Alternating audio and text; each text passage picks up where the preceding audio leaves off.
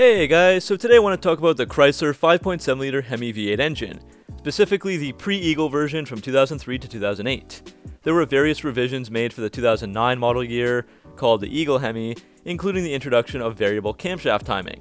But back to the pre-Eagle Hemi, this was an extremely popular engine found in 9 different vehicles and chosen on over 45% of cars and trucks where it was an option. It was also built at a profit, making it a financial success. But we're not here today to talk about the success of the 5.7 Hemi, but rather the fatal flaw that has killed so many engines. This recently affected my Dodge Charger with the same engine, so I decided to research the issue and look into it further, and shed some light on the issue, especially if you are considering buying a used vehicle that has this Hemi. So first we will look at the specs of the engine, and then take a look at the major issue of premature dropping valve seats, including what it is, what it affects, and how to possibly prevent it. So the world first saw the 5.7 liter Hemi released on various concepts in the early 2000s, but the first instance was in the 2000 Chrysler 300C Hemi convertible concept. And three years later in 2003, the engine was released on the Dodge Ram 1500, 2500, and 3500 pickup trucks.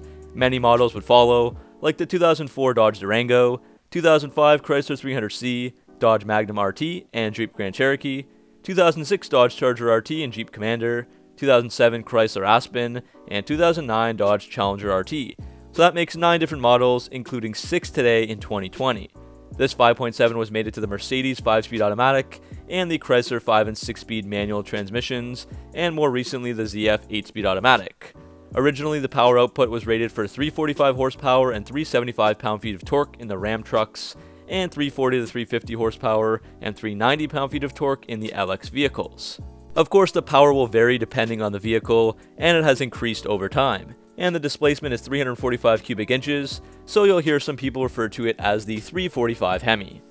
One important feature was what Chrysler called the Multi-Displacement System, or MDS, so we'll talk more about that later, but basically that first came out on the 2006 Hemis, it deactivates half of the cylinders when the throttle is closed or at steady highway speeds, and Chrysler claimed that it boosted fuel economy by 10 to 20%.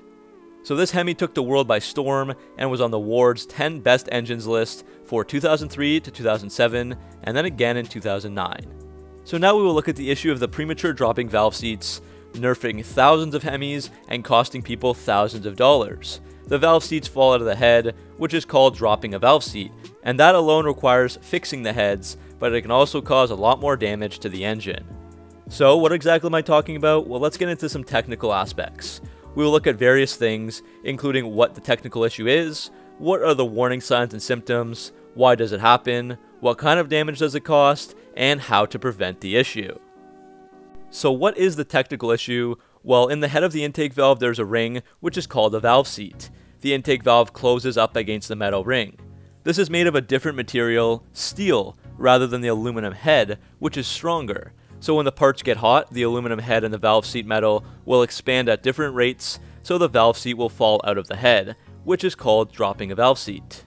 To explain with a bit more detail, the aluminum expands at twice the rate of steel, and this hard steel metal is pressed into the soft aluminum metal in the head, and typically there's around 0.005 inches of interference, which is not enough to actually hold them in tight.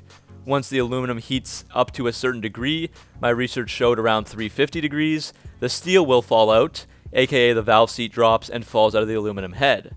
However, the aluminum head probably doesn't ever reach 350 degrees, that's just too hot. So this is a design flaw, because Chrysler had probably preheated the aluminum head or froze the seats, expanding and shrinking the materials, and proving that the interference amount was enough.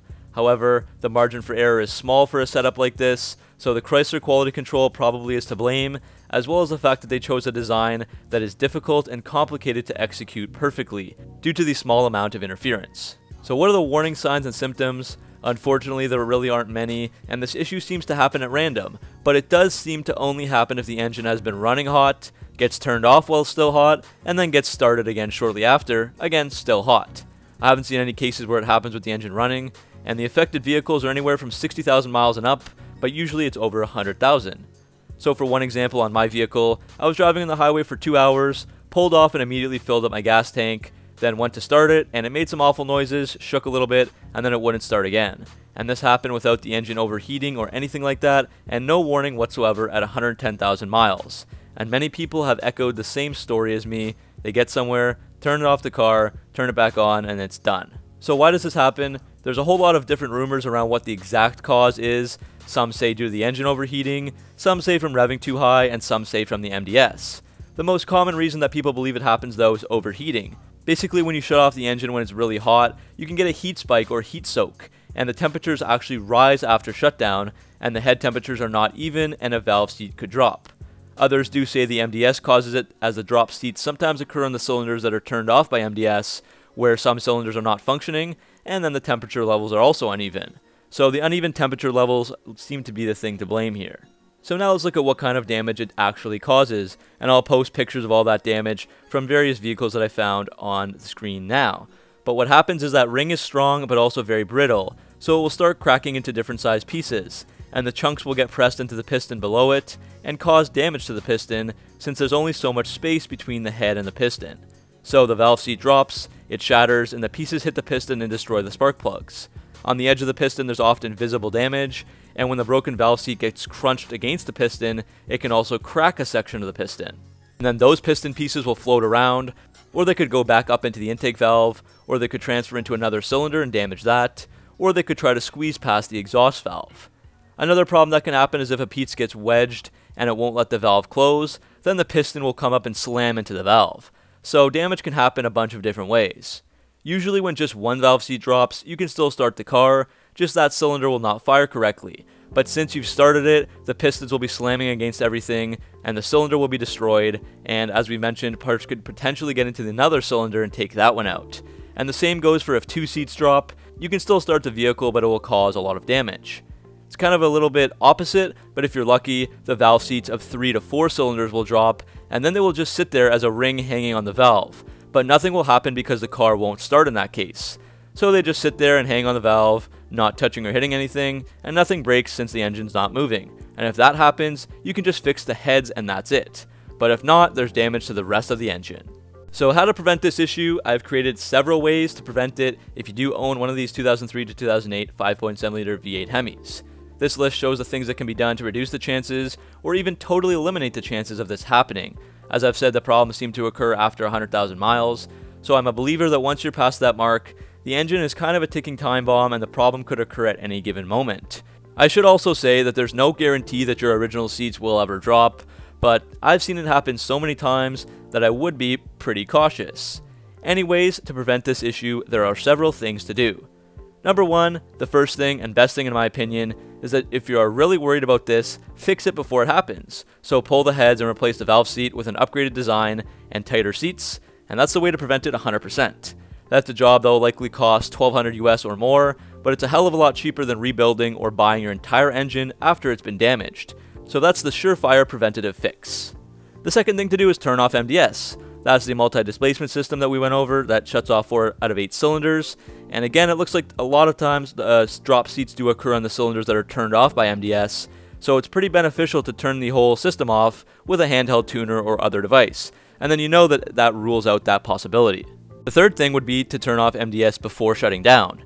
So if you are going to use MDS, one tip is to not use it right before you shut off the car, like I did for a few hours on the highway that day. When you get off the highway, put the car in auto stick for a few minutes at least, something like 5 miles before your destination. Basically when you're in an auto stick or even at idle, the MDS mode is disabled and the cylinders will heat back up and be even in temperature by the time that you get off the road and shut off the car.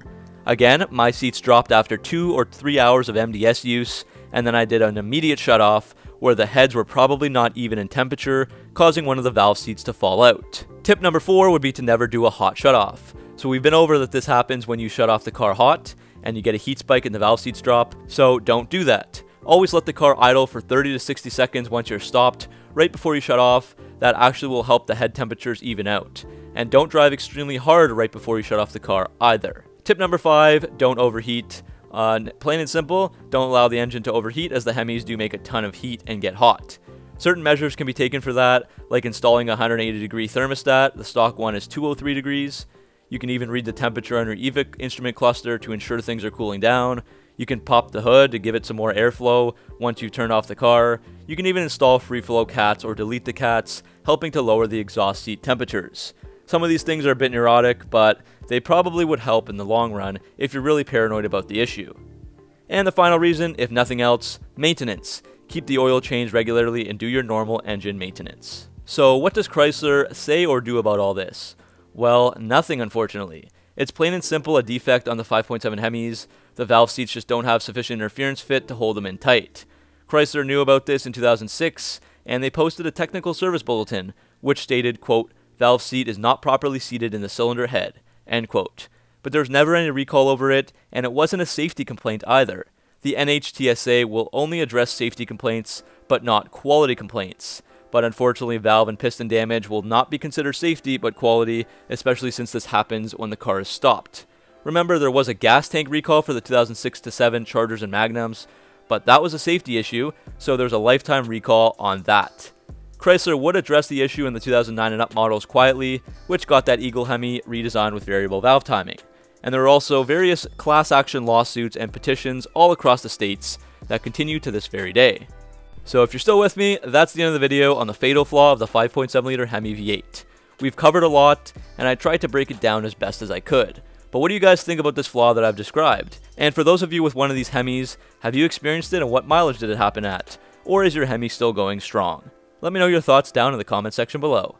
Thanks for watching, make sure to like and subscribe for more Mopar content, and I'll see all of you guys in the next video.